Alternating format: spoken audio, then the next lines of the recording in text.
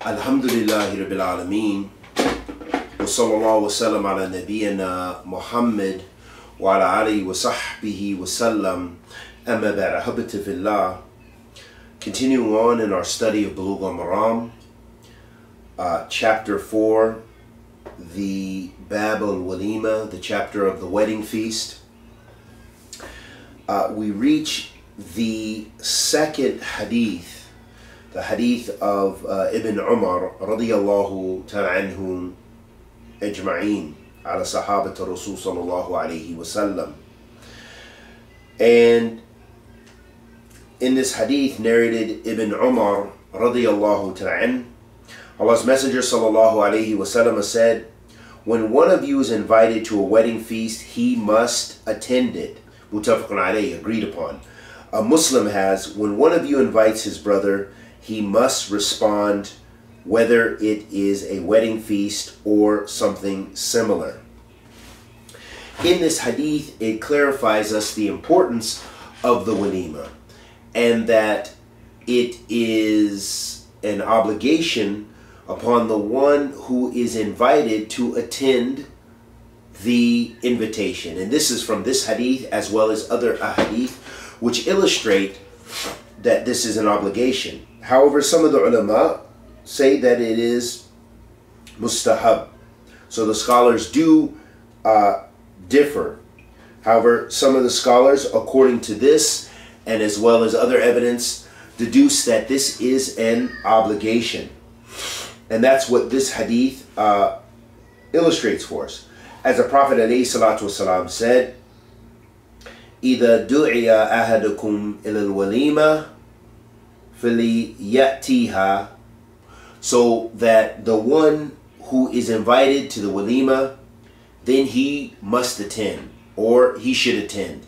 And so this is in the imperative form, meaning that it is a, an, an order from the Prophet ﷺ, and we've talked about it uh, prior to this, that whenever there is an amr in the Sharia, a command in the Sharia, the asl of that command, the origin of that command, is that it is an obligation.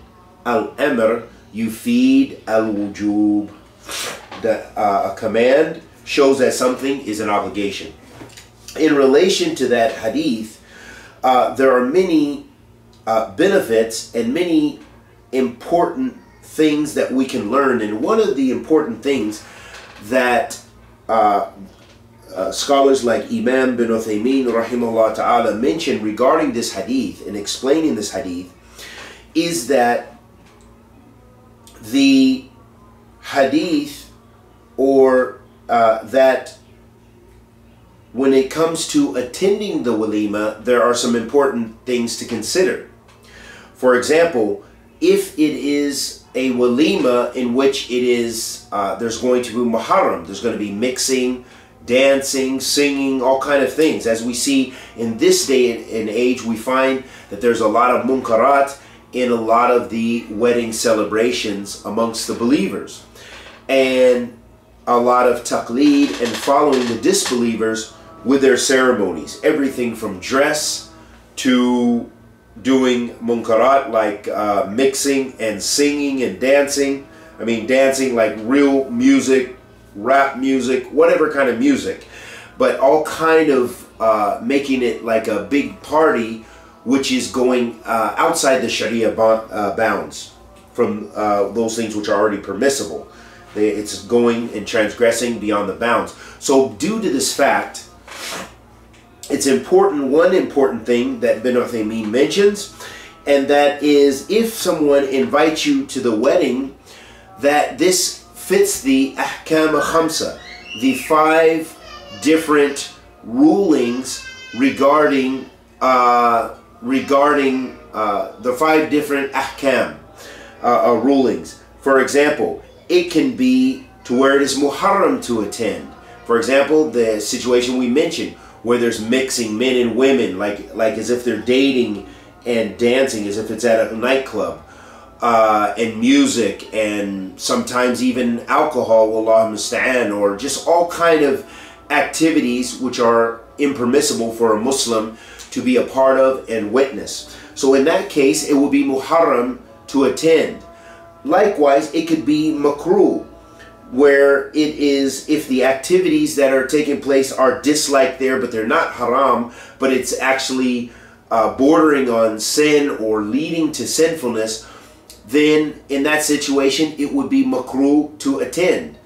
Uh, al wasa'il laha ahkam al maqasid. One of the Sharia principles is that the ruling of the means for something or the rulings uh, of the the means of something is the same as its ends. The ends takes the same ruling as the means. So meaning that if you have a haram means or that this activity is haram, then the end will be unjustified. It will not be a halal end, even if the and the end result is that it's supposedly supposed to be a halal activity. So, for example, in the walima, that is a walima of, of munkarat, if the means of celebrating this righteous ceremony, this bonding together of the husband and wife, is muharram, then that makes that attending that walima muharram. And likewise, if the means is makruh, then it makes attending that uh, walima makruh. And if it is mubah, it's permissible, then of course it is permissible to attend. And then the other ahkam, which would be where it is uh, recommended or uh, you know recommended or mashru' where it's legislated, meaning it's according to the sunnah of the Prophet ﷺ, then a person must uh, attend that unless they have a legitimate excuse, a, a great hardship, and they seek permission uh, uh, to not attend from the one who has invited them. So that's very important, uh, a very important thing to consider with regards to the obligation of the walima. Uh, another important point is that if the place is a place of munkar, if it is a place uh, where, for example, there's music or there's this, uh, then as we mentioned, it would be impermissible to attend unless someone fits certain criterion, meaning that they have the ability to change the munkar. They have the ability, they go for the sake of dawah and to remove the sinfulness, to remove the sinfulness, the harmfulness. For example, if a person uh, and you know, especially it you know could be a greater pressure to attend it uh, if it's your your close relative, and you know that there's going to be muharramat there, but you have knowledge and the uh, the intention of actually you know making this uh, an opportunity for dawah and calling them to khair and calling them uh, and to removing the munkar that they actually respect you enough to where yes they will actually turn off the music or whatever the case may be, that you can have a positive effect uh, from the point of dawah and removing the munkar, then in this situation, uh, some of the ulama, they say, then it will be permissible to attend because you have the ability to change that munkar.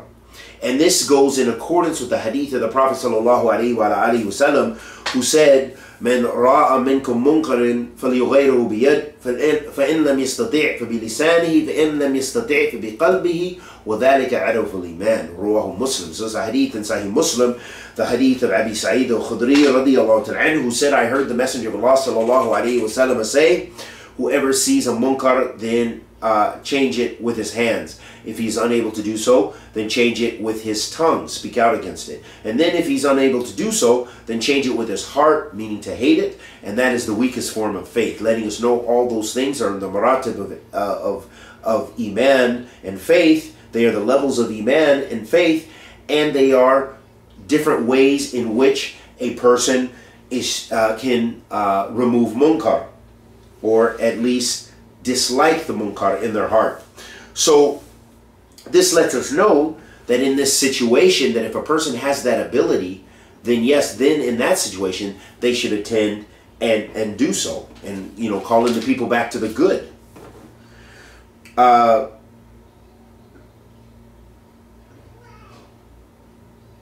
another important uh, point is again, this is built upon maslaha. This is built upon uh, the harms and the benefits, looking at the harms and the benefits. And the greater benefit would be dawah and removing the munkar. But if a person feels that they will not have this effect, and there's very little chances that people will listen to them and that they will actually be affected, then of course they should not attend those gatherings.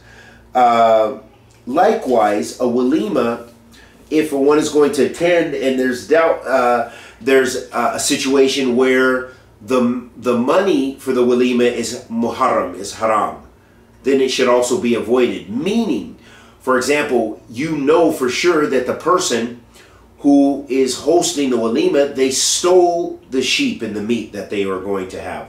So that is clearly that they stole this meat, uh, and so you know you would be eating and participating in that uh, that haram right there. So in that case, that would be uh, impermissible in that situation to attend. Uh, those are some of the main benefits of that hadith. In the next hadith, uh, uh, uh narrated Abu Huraira radiallahu ta'ala, Allah's Messenger sallallahu said, The worst kind of food is that at a wedding feast from which those who come, meaning the poor, are turned away, and to which those who refuse to come, meaning the rich, are invited if anyone does not accept an invitation he has disobeyed Allah and his messenger sallallahu alayhi wasallam in this hadith, there are immense benefits and fawaid. From amongst those uh, benefits is that if there is a walima and the wealthy are invited and they leave off the poor, okay, uh, then the Prophet ﷺ described it as some of the worst food. That this is that this is a, a bad uh, a, situation in, in wedding feast because uh, part of the intention is to feed those who are in need during this happy celebration uh, and this happy occasion. So then the question arises uh, the one who does this, are they sinful or not? Uh, if there is uh, you know, poor people who have a great need, you know, for this, and they're excluded, then in this situation, uh, Bin Uthaymeen mentions that it would be uh, the person who fails to invite them uh, is has incurred a sin. But other than that, then there would be no sin. Meaning, if they invited wealthy people, it wasn't deliberately just to invite wealthy people, but that was mainly the people they knew, and they didn't really have the opportunity to reach out to others who were poor, then in this situation, uh, it would not they would not incur a sin. Another benefit of this hadith is this hadith shows us that it is an obligation, uh, as we mentioned, to accept the in invitation of the walima.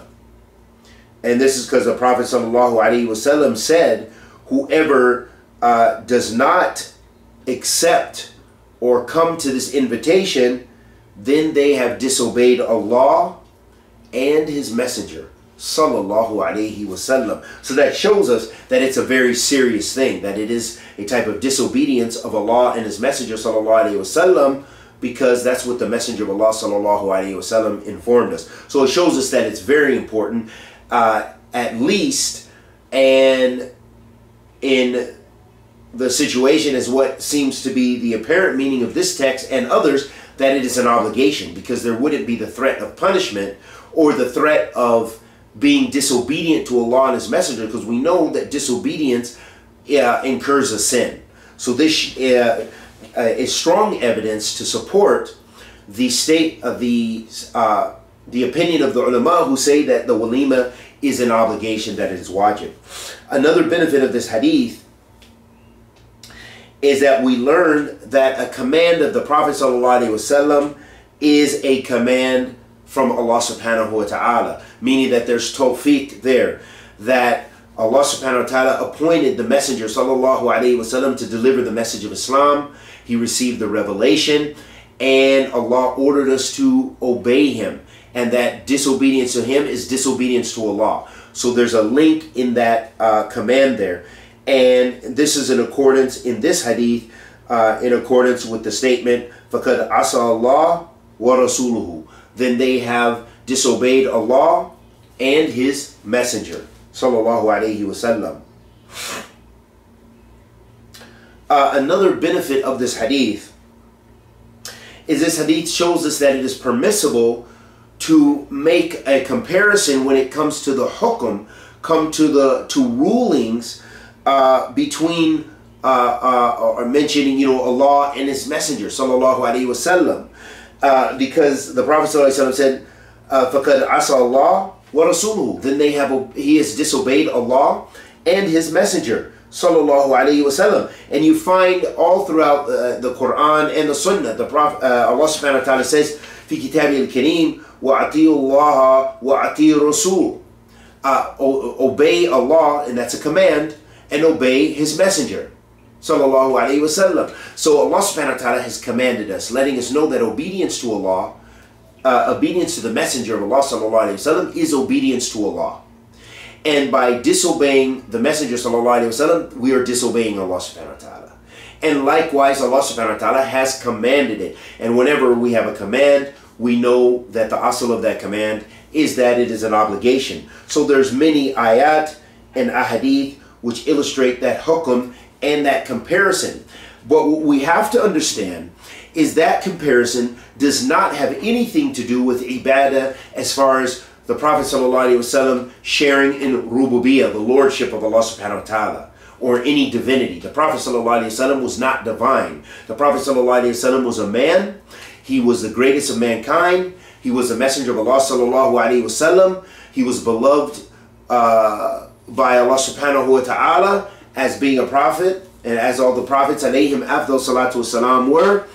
And uh, but they are they were not they are not to be worshipped and they do not have divinity. Salatu so it's very important to understand that principle because this is where some of the extreme groups go astray and they uh, give the prophet wasallam they attribute to him uh, lordship which is a major uh, mistake and is shirk. It is uh, from the major shirk. Wallahu musta'an uh, Allah subhanahu wa ta'ala says, وَأَعْتِيُوا اللَّهَ وَرَسُولُ وَرَسُولُ uh, Allah subhanahu wa ta'ala says in Surah Ali Imran, verse 132, obey Allah and obey the messenger. And Allah subhanahu wa ta'ala says, أَعْتِيُوا اللَّهَ وَأَعْتِيُوا رَسُولُ uh, obey Allah and obey His messenger, obey the messenger. Uh, and this is in Surah An-Nisa, verse 59. And Allah subhanahu wa ta'ala says, in Surah An-Nisa, verses four, verse 14, وَمَنْ يَعْصِ اللَّهَ وَرَسُولُهُ And whoever uh, disobeys Allah and His Messenger. So Allah subhanahu wa ta'ala has made this link between uh, obeying His Messenger and obeying Him. That disobeying the Messenger is disobeying Allah subhanahu wa ta'ala. And that we know how to worship Allah subhanahu wa ta'ala by following the Prophet sallallahu alaihi wasallam. And that brings a, another last important point, and that is the conditions for our deeds to be accepted. What makes up ibadah? What makes up worship? Which is one of the most important questions we need to know and and and related to all this fiqh that we're we're gaining from Bulugh al-Maram and our other studies is these two very important principles. And the first is ikhlas, that when you uh, worship, you worship Allah alone. And your worship is sincerely for the sake of Allah subhanahu wa ta'ala. So when you pray, it's to Allah. When you make dua, it's to Allah. When you dhabh, you know, uh, sacrifice uh, a sheep or a lamb or a goat or a camel or uh, a cow, it's for Allah subhanahu wa ta'ala. In Bismillah, in the name of Allah. Not in the name of the Prophet sallallahu alayhi wasallam, not in the name of Jesus alayhi salatu wasalam, not in the name of Ibrahim alayhi salatu wasalam or Jibreel wasalam, but in the name of Allah the creator of the heavens and earth, and the creator of Jibreel and Muhammad and all the messengers alayhim salatu. Uh, so very important that we we have that understanding. So that's the first condition. The second condition for having our deeds accepted and making it a, a sincere, uh, a, a, legitimate act of worship in Islam, uh, and that includes the walima and includes every act of ibadah when you're doing it to worship Allah subhanahu wa ta'ala. And aside from ikhlas, it is mutaba, meaning you're following the sunnah of the Prophet ﷺ. You're following how he did it. How did he worship Allah? How did he make hajj? How did he make umrah? How did he pray? How did he supplicate? What words did he use? Uh, following his sunnah, sallallahu alaihi wasallam. And those are some of the main benefits of this hadith. In the next hadith, narrated Abu Huraira radiyallahu anhu. Allah's Messenger sallallahu alaihi wasallam said, When one of you is invited to a meal, he must accept. If he is fasting, he should pray, meaning make supplication for him. And if he is not fasting, he should eat. Muslim reported it as well. Muslim has something similar to the above hadith from the hadith of Jabir radiyallahu ta'ala and it goes, if he wishes, he may eat, and if he wishes, he may leave, meaning leave the food alone. In this hadith of the Prophet sallallahu alaihi wasallam, the hadith of Abu Huraira radiyallahu ta'ala in regards to the walima, in regards to partaking in the walima. This hadith shows us uh, is also further evidence, as we mentioned, that some of the ulama mentioned of the obligation of attending the walima. And this is one of those hadith from its apparent meaning which illustrates this. And that's because the Prophet ﷺ uh, said, Fil yujib.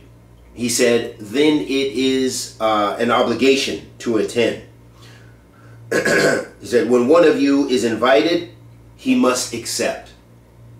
Okay? So that that portion of the hadith, that ibarah from the Prophet sallallahu alaihi wasallam, uh, shows us or indicates in its apparent meaning that it is an obligation to attend these types of gatherings. However, most of the ulama, jamhur, the majority, uh, say that as far as other gatherings, uh, aside from the walima, that it is sunnah, that it is not, uh, that it is um, uh, recommended to attend, but is not an obligation. But as far as the um, the uh, the walima, the, as the walima is concerned, a lot of the evidence uh, points that it is an obligation to uh, attend that that invitation. And the person who doesn't incurs a sin according to that uh, that view.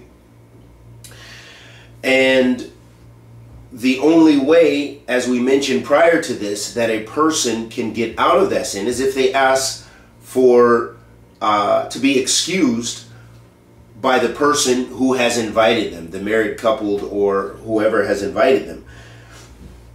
Another benefit of this hadith is this hadith shows that uh, it indicates also that the person fasting that they are also obliged to come to this uh, wedding ceremony if they are invited. That if they have been invited then they should attend as well as the prophet ﷺ said in the hadith فإن كان صائما فليصلي وإن كان مفطرا فليطعم يطعم the Prophet ﷺ said, so therefore, if uh, the person is fasting, meaning the one who's been invited to the uh, to the uh, walima, then they should uh. And salli here, the prayer does not mean the uh, the common salat that we're used to, uh, either of two units of prayer, rakatain, or four units of prayer, or for the Maghrib, uh, three units of prayer. but rather this salli here is in uh, this salat here is in reference to dua, is in refer- reference to supplicating, and that meaning that the fasting person is not obliged to necessarily break their fast, but they should attend this walima, and during this walima, that they can uh, instead of since they're not partaking in food, they can supplicate, and it shows us the how Islam is so inclusive.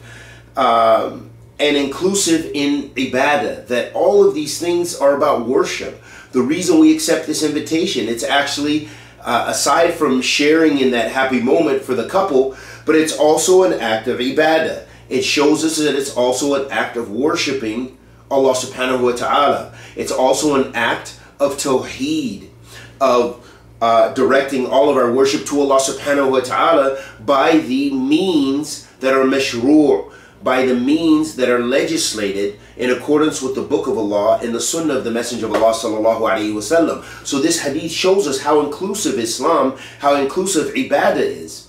That ibadah is not something restricted as in other faiths, not restricted to just um, just what we consider supplication, but rather the Muslim uh, has various means of ibadah, from something as simple as attending a walima, uh, you know, this wedding celebration, or smiling. This is a type of charity.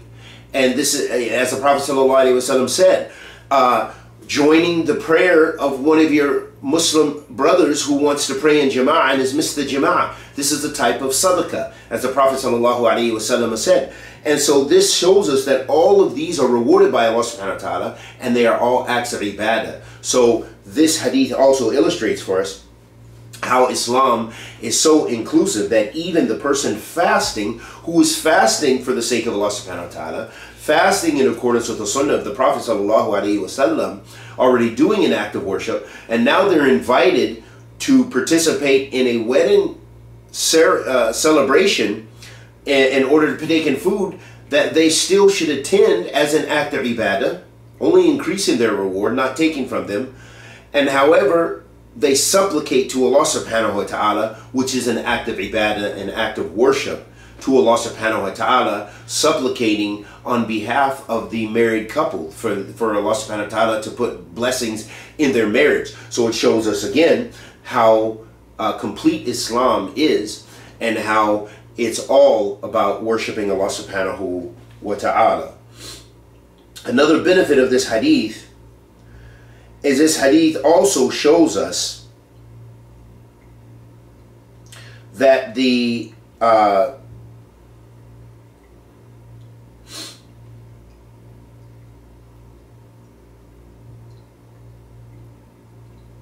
again as, as we, we just mentioned these benefits are very linked uh, is that the one who is fasting and they do not eat that they should supplicate.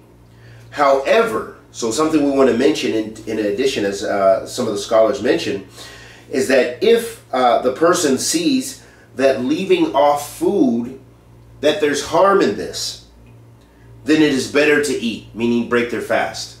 Okay? So again, Islam also uh, is always observant of the musalih wa mufasid, the harms uh, the benefits and the harms by weighing that. So if there is a greater mafsada, a greater harm,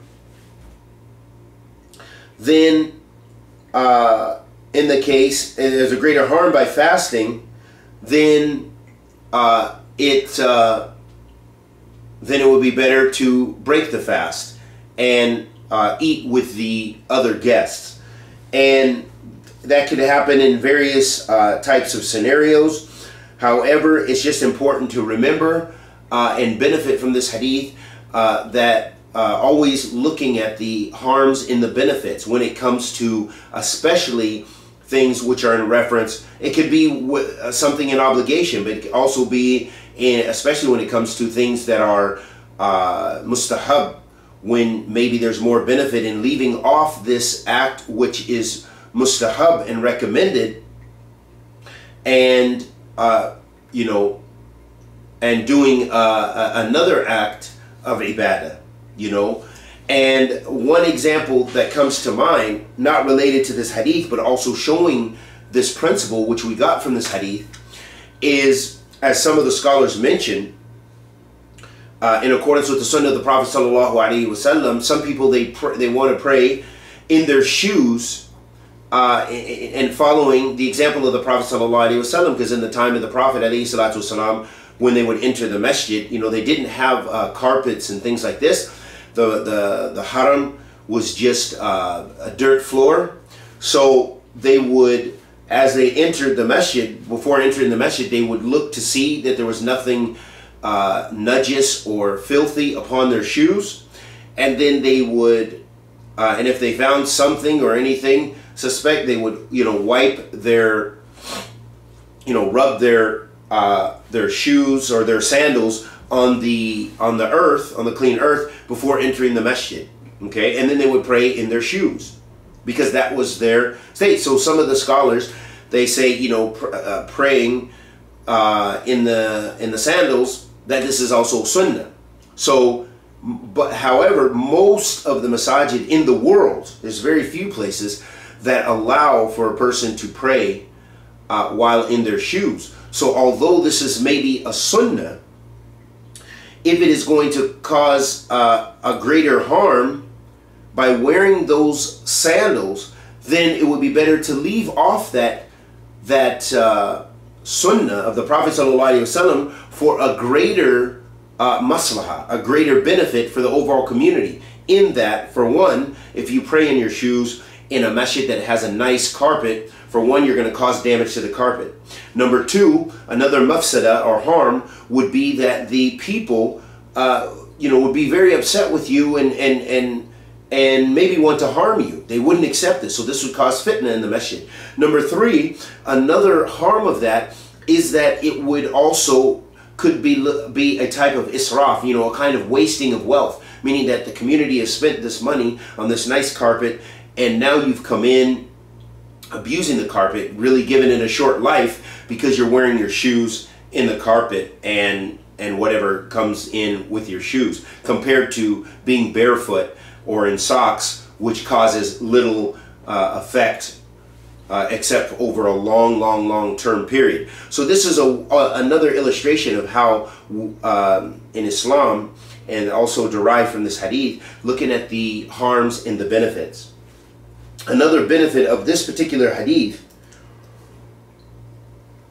is that it is also legislated for the one who uh, is um, who is not fasting, of course, is to to partake in the food. So, meaning if someone was fasting uh, and then they decide to break their fast, or someone else, of course, who attends, that they should eat. They should eat uh, something from the food. Those are the main benefits of this hadith. In the next hadith, narrated uh, uh, Ibn Mas'ud radiallahu ta'ala Allah's Messenger sallallahu alayhi wa said, the food of walima on the first day is a duty, that on the second day is a sunnah, while the third day is showing off. Whoever does something to show off, Allah will expose him in the hereafter. Reported by At-Tirmidhi, who graded it as gharib, transmitted through a single narrator. Uh, it is incorrectly claimed that its narrators are those who are reported from in uh, Bukhari. Uh, this hadith also has a supporting chain, which is also weak, collected by Ibn Majah on the authority of Anas uh, radiallahu ta'ala. So, again, uh, as the scholars have mentioned, many of the scholars, that this is a weak uh, narration. And uh, if it were to be uh, a sound narration, some of the benefits that could be derived, as Bin Uthaymeen mentions, is that uh, the walima on the first day uh, is an obligation, and the first day is wajib in accordance with this hadith if it were correct a sound hadith. Another benefit is that the second day it's sunnah in accordance with this hadith uh, and those are some of the main uh, benefits with regards to this hadith but however as we've mentioned uh, Imam Tirmidhi graded as gharib uh, in the next hadith narrated Safiya radiallahu anha, daughter of Shayba. The Prophet sallallahu alaihi wasallam held a, wed, a wedding feast for one of his wives with two uh, mud of barley, reported by Al-Bukhari. In this hadith of the Prophet wasallam, it illustrates the simplicity of the walima as well. That if someone is unable, uh, as we mentioned prior to this, someone who has has restricted means, then they can uh, you know use something as simple as as the Prophet ﷺ did uh, was uh, uh, two mud of barley and uh, that this is equivalent to uh, half of a sa'a, uh, and a sa'a is like four uh. So um, two amdad would be uh, one sa'a, if I'm correct. So maybe uh, a few handfuls of barley or something to this effect. But letting us know again that it was of minimal uh, uh, minimal amount of uh, of food, and that this shows that it's permissible, especially for the one for the person who uh, has uh, who has restricted uh, means, who has very little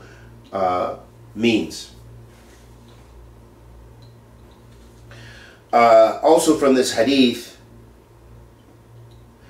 so this hadith illustrates for us that for the one of uh, restricted means that the walima is still correct uh, even if it was less than a sheep as we mentioned uh, prior to this. Another benefit of this hadith is this hadith illustrates for us that it is mashru' to have a walima, that it is legislated uh, to have a an Islamic uh, this Islamic celebration when one has got uh, one gets married.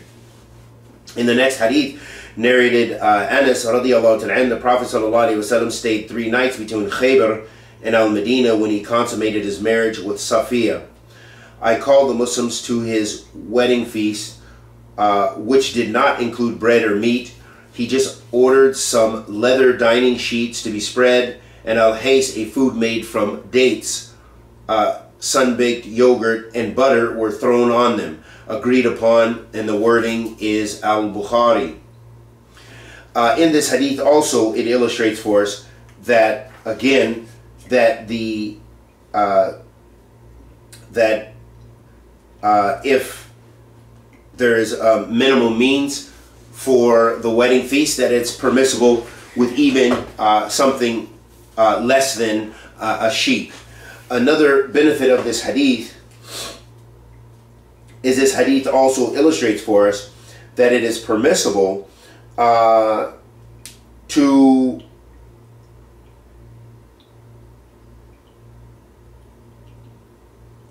uh, that is permissible to uh, have relations, of course, during travel. That's one of the, the things uh, that the scholars uh, deduce from this hadith because uh, the Prophet sallallahu alaihi ﷺ was traveling between uh, Khaybar and Medina and he had relations with Safiya anha. Another benefit of this hadith is this hadith also illustrates the importance of having privacy during the, if someone is camping or whatever the case may be, uh, between the husband and the wife. Okay, that they should have, uh, or, or, or the family. So that way the woman can observe, uh, can be relaxed, or, and if they're not, if they're not in a private sphere, then they should observe the hijab and so forth. Another benefit of this hadith is this hadith uh, uh, illustrates for us that from the sunnah of the Messenger of Allah sallallahu alaihi wasallam is not making a difficulty, a great difficulty uh, with regards to a walima. And the Prophet wasalam, uh, made it very simple. And the, in this case, they just put the sheet out and uh, provided the, the, the, the, food, which is a very simple food, uh, known to those people. Uh, another benefit of this hadith is uh, this hadith illustrates uh, from the indication of Anas ibn Malik radiallahu ta'ala that he pointed out or can be deduced, deduced from his uh, statement that it is uh, not permissible to be wasteful with regards to a walima and in general with anything. But specifically uh, in this hadith pointing out that one should not be wasteful with regards to having a walima and this is in relation to his statement فَمَا كَانَ فِيهَا مِنْ خُبْزٍ وَلَا لَحْمٍ He said, uh, and th there wasn't uh, any uh, bread or even uh, meat, letting us know that those were not the most important uh, of items that it had to be uh, extravagant, but simplicity was sufficient. And not being extravagant is very very important, an important and an important part of this uh, walima.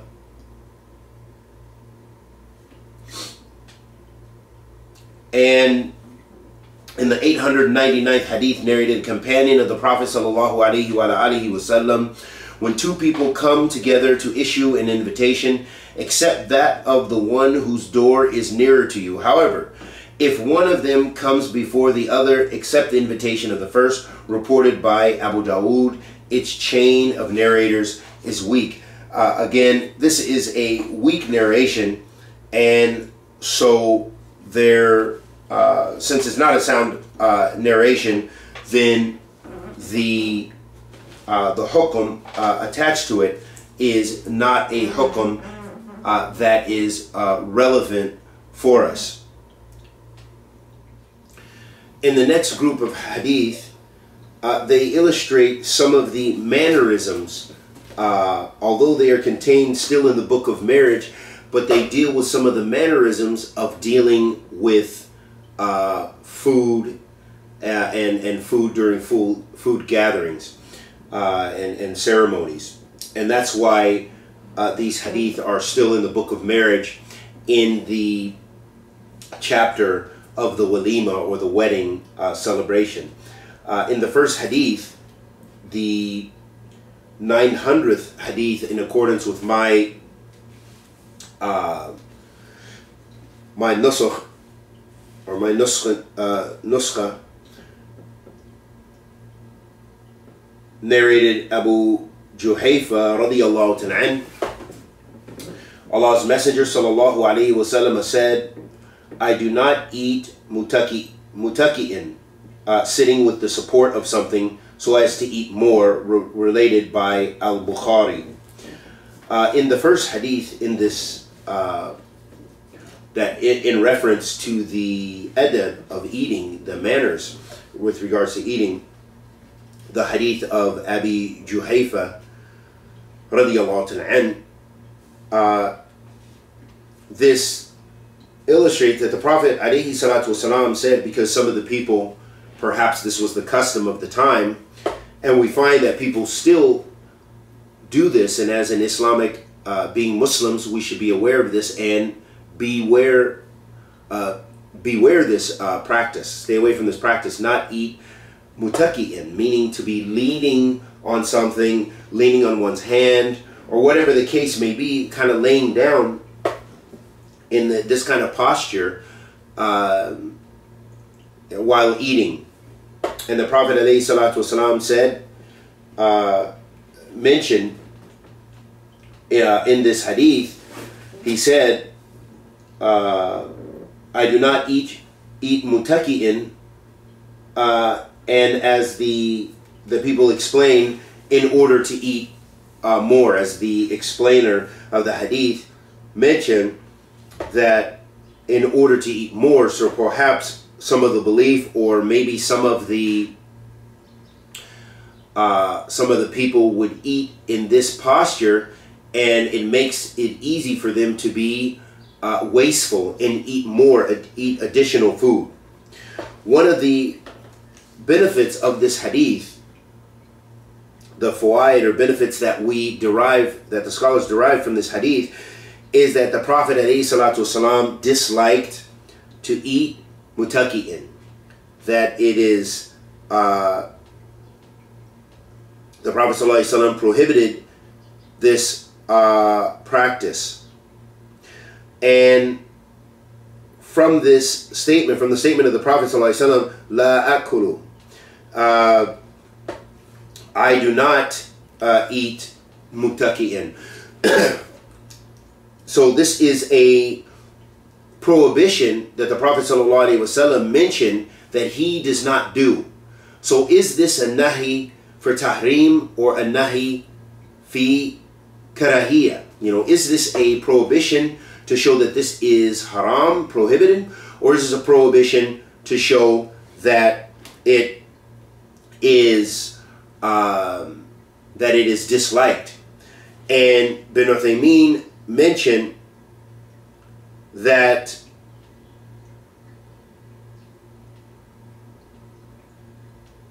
because of the way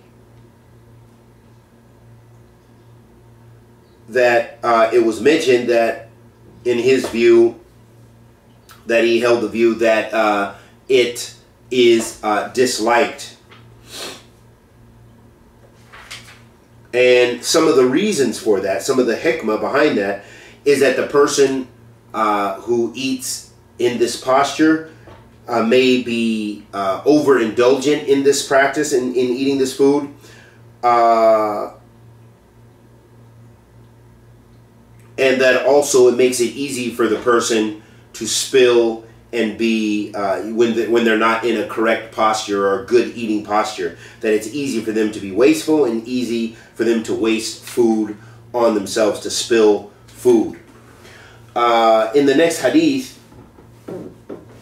the hadith uh, uh, narrated Umar ibn Abi Salama radiyallahu ta'ala Allah's Messenger sallallahu alayhi wasallam said to me, Dear child, mention Allah's name, eat with your right hand, and eat from what is next to you. Muttafaqun alayh. Uh, this is a hadith agreed upon in Bukhari and Muslim. The hadith of Umar ibn Abi Salama radiyallahu ta'ala and in this hadith, there are immense benefits. And before talking about those immense benefits, one of the fawaid bin Uthaymeen mentions, one of the benefits that he mentions with regards to uh, hadith that have to do with mannerisms in general. So that includes uh, the hadith we just took to uh, prior to this, but in general, and when we get to the chapter, uh, the comprehensive chapter in the end of Bulugh al-Maram, talking about the various uh, adab and manners that he said in the ما كان من باب الآداب فهو للاستحباب he said that this is a principle he said that everything that relates to the manners then it is mustahab it is recommended unless there is evidence to support that it's an obligation حتى يقوم دليل على وجوب unless there uh, is other evidence from the Quran, from the Sunnah of the Prophet ﷺ to show that those hadith traditions or what have you uh, uh, related to uh, manners are an obligation. So meaning that there's other evidence from the sunnah to show that that particular adab or mannerism is an obligation. And he said, "Emma makana min baba ta'abud fuhu lil wujub."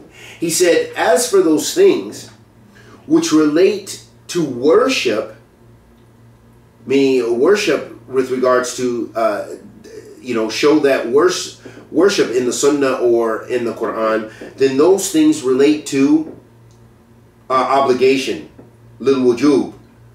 Until, so it's the opposite principle. Hatta yukuma dalila istihbab. Until there is evidence to show that those uh, acts of worship are recommended. So this relates to the qaida we've we've spoke about countless times during our study of Bulugh al-Maram. Al-amr yufid al-wujub, wa nahi yufid al-tahrim. That whenever there's a command in the Quran or the Sunnah of the Prophet ﷺ, that the asl of that command is that it's an obligation. Unless there is dalil to show that it is uh, mustahab, that it is, you know, uh, recommended. So, this uh, and this this qaida more specifically relates to ta'abbud, those things uh, that are related to uh, uh, worship. However, if it's something related to manners, we learn, uh, Bin Uthaymeen highlights this other important qaida that the obligations, the commands that relate to uh, adab or manners, that the asl is uh, that they are mustahab, that they are recommended, unless there's dalil from the Sharia to show that they are in obligation. So that's very important. So that uh, deals with a lot of the manners that we are that we've covered and that we're going to cover in this hadith and in the some of the remaining hadiths that we will uh, cover. Uh, so from the benefits of this hadith is it shows us the uh, the humbleness or the humility of the Prophet alayhi salatu wasalam. That he was uh, very humble and that he, he even ate with this young boy, that he wasn't too proud that no, I can only eat with the adults. I can only eat uh, with so-and-so or so-and-so from the head of tribes or what have you. But the Messenger of Allah was humble and ate with the people. Another benefit of this hadith is that this hadith illustrates for us that it is uh, permissible to uh, address someone who is close to you with a a call to uh, by calling out to them, saying, "Oh gulam," like the Prophet ﷺ said in this hadith, "Ya gulam," "Oh uh, young boy," you know. And so, although the boy, the boy was there, was in his presence. This hadith also shows us the that it is uh, it, it, illustrates for us the excellence in teaching of the Prophet sallallahu alaihi wasallam. That he he uh, uh, you know the way he addressed the boy, the young boy, showed that you know gave the the boy uh, a type of you know addressed him in a way that was uh, worthy and of high esteem and this also is a learning uh, which was a, uh, a learning tool for us or an example for us which is a uh, which illustrates the excellence in uh, the Prophet Prophet's way of teaching. This hadith also shows us that it's important to give attention to the young children and not just brush them off. So we learn from this and, and other hadith that from the proper uh, educative effect and the, prop, the proper form of education and manners, mannerisms and uh, ways of dealing with people is that you give the children uh, their due respect and treat them in respectful uh, ways as well. And so, and that differs with a lot of the un-Islamic customs where you see that people treat the children uh, just as as if they're nothing or in a way to belittle them. But in fact, as a reminder to myself and my brothers and sisters that we should be conscious of this and treat uh, our children and be educative, you know, be to where we're teaching them which is in accordance with the sunnah of the Prophet sallallahu alaihi wasallam. Another benefit of this hadith is this hadith also shows us the obligation to make the tasmiyah when eating, and that it can be done as the Prophet said, "Sami Allah," you know. Uh, that the Prophet alayhi salatu wasalam said, uh, say Bismillah. You know, say Bismillah. Say in the name of Allah subhanahu wa ta'ala. And from this, uh, you know, from this hadith, this is one of the evidences that uh, for the uh, the obligation of saying the tasmiyah over uh, food. And this is in order to seek barakah from Allah subhanahu wa ta'ala and that the the uh, shaitan will not share in the uh, blessings and in the drink and in the food. Uh, another benefit of this hadith is this hadith also shows that it is an obligation to eat uh, with the right hand. As long as a person is absolutely unable a, a, person is absolutely able to eat with their right hand then from the islamic mannerisms is to eat with the right hand. And and and by leaving off eating with the right hand out of laziness that this is muharram this is haram this is impermissible so it shows us the obligation to eat with the right hand for the one who is able to do so and that that is a part of the islamic adab or islamic mannerisms when it comes to eating another benefit uh, of this hadith is it also shows us that uh, the excellence of eating with the hand. That this was from the sunnah of the Prophet wasallam. That does not, however, mean that we cannot eat with silverware, with forks and spoons and, and so forth, and knives, but rather from the sunnah of the Prophet wasallam, illustrating this excellent manner is that uh, we learn that this is uh, that by you know eating with the hand is from the sunnah of the Prophet sallallahu alaihi wasallam, and the one who does other than that is is doing khilaf a sunnah. But we don't say that this is a bid'ah or that this is uh, muharram. Another benefit of this hadith, which also illustrates Islamic manners, this hadith illustrates a lot of Islamic manners, mannerism, is uh, to eat from the portion of the plate which is in front of you. So, from the Islamic mannerisms, is to eat that food which is closest to you, not to reach over and reach around and reach all across the uh, the food when partaking in it. Those are some of the main benefits uh, of this hadith.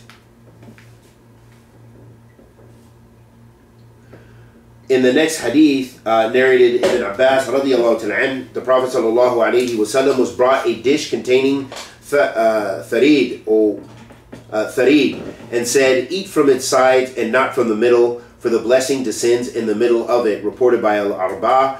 This is the wording of An-Nasa'i. Its chain of narrators is authentic. So this is the authentic hadith. And in this hadith, it shows, it illustrates for us the, what we just mentioned, and that is to eat uh, is to eat from the sides of the plate and not to necessarily reach across the plate and not to eat from the the uh, uh, and eat from the the middle.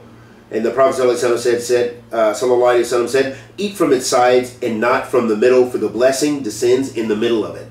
So letting us know that the food around should be eaten before one is reaching across or going inside the middle of the plate. Uh, narrated Jabir and the Prophet sallallahu said, Do not eat with the left hand, for the devil eats with the left hand, reported by Muslim.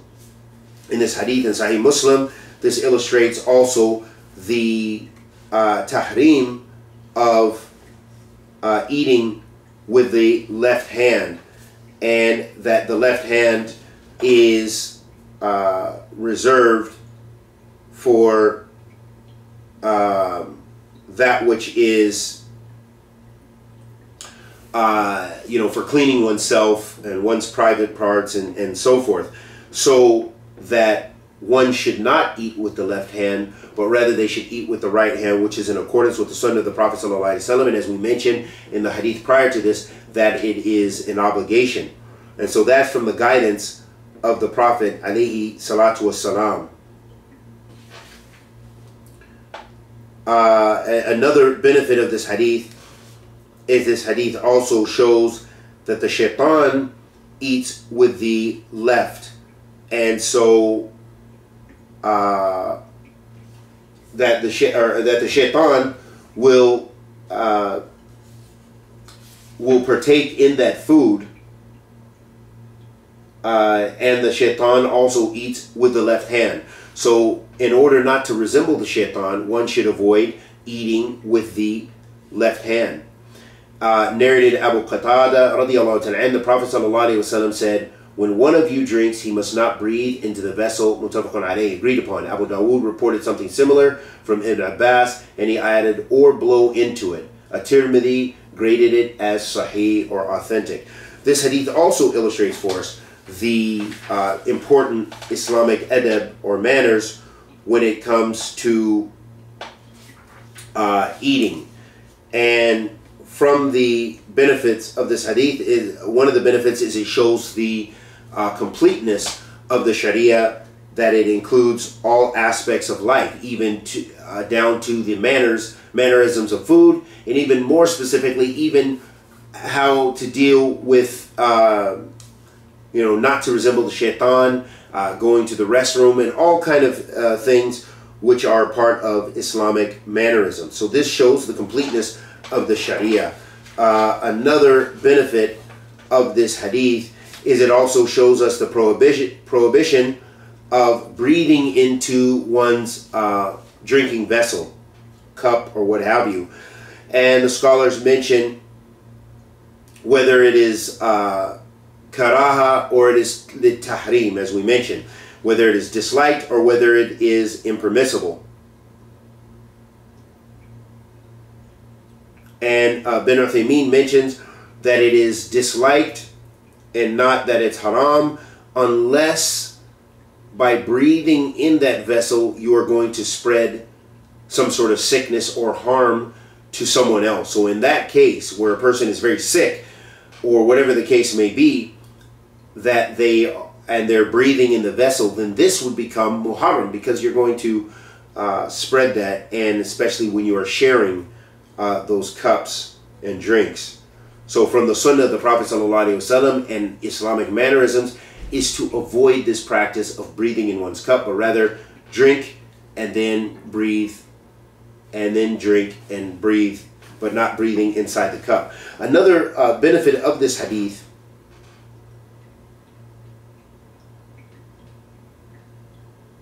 is this hadith also shows that from those manners is to remove the cup from uh, and that is from the sunnah that the person who wants to drink or needs to breathe that they should drink and then they take their breath.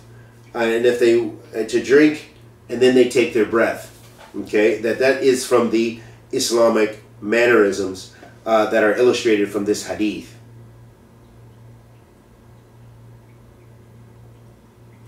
uh, a last benefit from the uh, the hadith that was uh, in the narration uh, of, of, Abu Dawood, uh, Ibn Abbas radiallahu ta'ala uh, added, or blow into it, meaning that one should not blow into the their drinks to cool it off, and Allah subhanahu wa ta'ala knows best. Those are some of the, the important mannerisms, and especially in the chapter, the book of marriage in the walima, and we ask Allah the Almighty to accept our good and forgive our evil.